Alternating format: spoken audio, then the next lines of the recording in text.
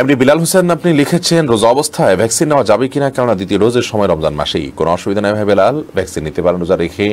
কারণ এই ভ্যাকসিনটা আমাদের পাকস্থলিতে যায় না, এটা খাদ্যের কোনো কাজ দেয় না। যার কারণে এটি নিতে পারেন। এ বিষয়ে কোনো ওলামাইকে আমি উল্লেখযোগ্য কোনো ওলামায় দ্বিমত আছে বলে আমার জানা নেই।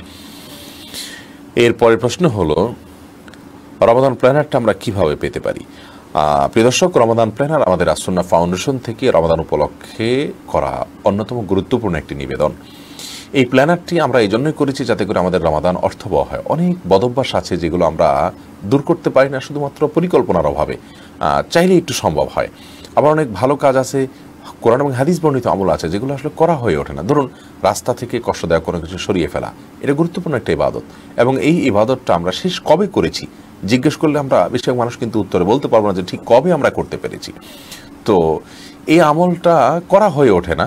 অথচ এটা করতে কোনো সময়, কোনো টাকা পয়সা কোনো বিশেষ কোনো কসরত, পরিশ্রম করতে হবে ব্যাপারটি সেরকম নয়। এত সহজ একটা আমল আমরা যেটা করতে চাইলে করতে পারি, এটা করছি না। অথচ সেটা ইমানের সাথে সংশ্লিষ্ট, ইমানের অঙ্গ এমন একটি আমল। তার রাস্তায় ধরুন একটা ঠোঙ্গা পড়ে আছে, সেটা ড্রেনে গিয়ে আপনার পানি জলাবদ্ধতা সৃষ্টি করবে। একটা কলার খোসা পড়ে আছে, একটা ইটের আদলা পড়ে আছে, একটা কাঁটা পড়ে আছে, একটা লাঠি পড়ে আছে, এটা আপনি তুলে একটু সাইডে ফেললেন, অথবা যথাযোগ্য জায়গায় নিয়ে রেখে ফেললেন। তাহলে আপনি একটা আমলের কাজ করলেন, সবের কাজ করলেন, হয়ে ওঠে না। এরকম শত শত আমল আছে।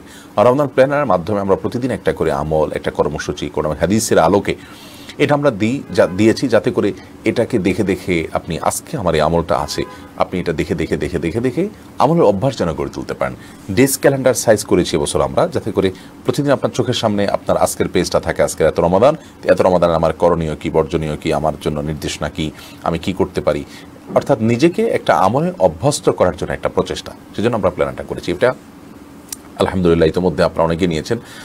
এটা সংগ্রহ করার সবচেয়ে সহজ পদ্ধতি হলো রকমারি আছে, ওয়াফি লাইফ আছে, নাফিওন আছে, অনেকগুলো অনলাইন বুক শপ আছে এই সমস্ত বুক শপে আপনারা অনলাইনে অর্ডার করতে পারেন। আমাদের আসন্ন ফাউন্ডেশনের যে নতুন ঠিকানা, আসন্ন ফাউন্ডেশন ভেরিফাইড ফেসবুক পেজ, সেখানে আমরা আজকেই ঠিকানা জানিয়ে দিয়েছি পাবলিকলি।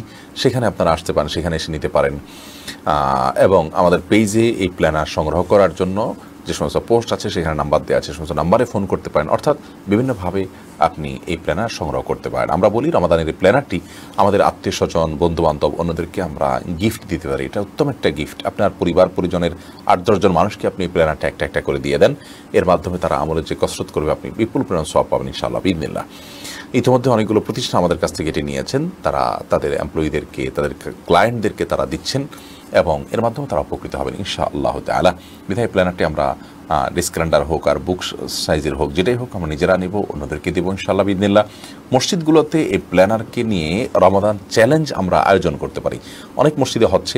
দানমন্ডি তাকুয়া মসজিদে হাফিজ মুফতি সাইফুল ইসলাম ভাই করছেন, আমাদের শেখ আব্দুল্লাহ সাইফুল্লাহ ভাই তার মসজিদে করছেন মুফতি হেদায়তুল্লাহ ভাই নামে একজন আলিম আছেন মিরপুরের বিশিষ্ট মিডিয়া ব্যক্তিত্ব, তিনি করছেন, আর অনেক ওলামাইকরাম করছেন। এই প্ল্যানার দিয়ে রমাদান চ্যালেঞ্জের যে প্রক্রিয়াটা, সেটা হলো মসজিদের মুসল্লিদেরকে ঘোষণা দিবেন, যারা চান এই প্ল্যানারটা নেন এবং চ্যালেঞ্জ গ্রহণ করেন। এই প্ল্যানারটাতে প্রতিদিনের যে পৃষ্ঠা আছে এটা পূরণ করবেন এবং মাস শেষে একটা সামারের পৃষ্ঠা আছে সেটা পূরণ করবেন যে আপনার এই মাসের অর্জন কী।